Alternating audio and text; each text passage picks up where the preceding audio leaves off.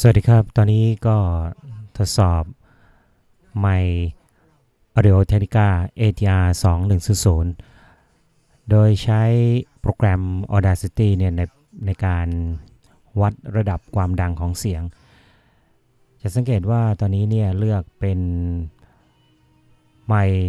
Audio Technica ATR 2100 ส่วนเกณฑ์นั้นผมปรับไปอยู่ที่ประมาณ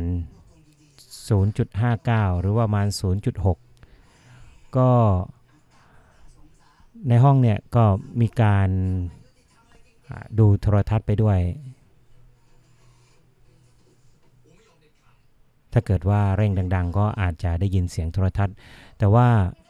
ช่วงที่ผมไม่ได้พูดเนี่ยให้ลองสังเกตระดับเสียงที่ปรากฏอยู่ในมิเตอร์ตรงนี้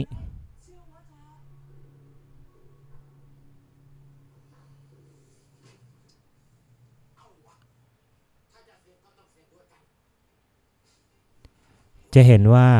ระดับเสียงนั้นมันค่อนข้างจะต่ำมาก ไมค์ตัวนี้เนี่ยเป็นไมค์แบบไดนามิกจะไม่ค่อยรับเสียง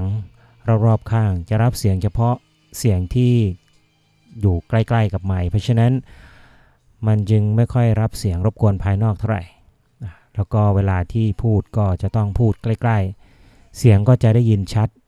เสียงที่อยู่ด้านหลังหรือว่า เสียงต่างๆที่อยู่หลังไมค์เนี่ยมันจะไม่เข้ามาเลย นี่ก็จะให้เห็นตัวระดับเสียงของโปรแกรม Camtasia Recorder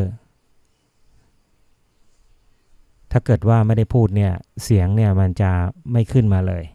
นะเดี๋ยวจะลองบันทึกเสียงดู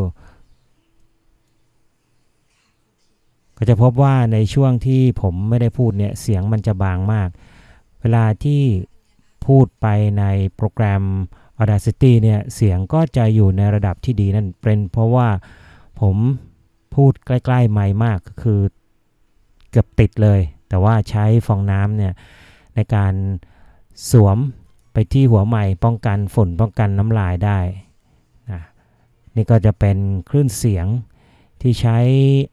โปรแกรม Audacity แล้วก็ใช้ไมค์ Audio Technica ATR 2100